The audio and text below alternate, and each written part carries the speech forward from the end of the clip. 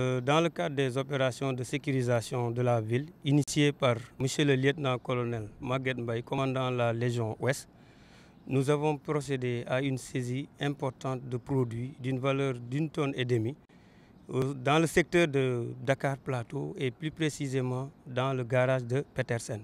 C'est au cours d'une patrouille que nos éléments ont découvert ces produits périmés et parfois contrefaits sur des marchands euh, qui détenaient même pas de, papiers légaux pour attester de l'originalité de ces produits. Ce qui veut dire que les faits sont graves. C'est sur ça qu'on appelle les populations à la vigilance et qu'on les conscientise pour qu'ils soient beaucoup plus vigilants sur les produits qu'elles achètent. Parce que les fêtes de Noël approchent et les, personnes mal intentionnées s'aventureront toujours, s'adonneront toujours à ces genres de pratiques euh, qui parfois peuvent euh, engendrer des pathologies.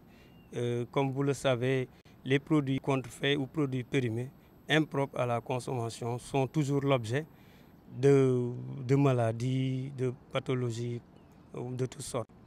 Maintenant, on les invite aussi, si toutefois elles arrivent à découvrir des choses pareilles, d'appeler au numéro vert de la gendarmerie au 800 00 20 20.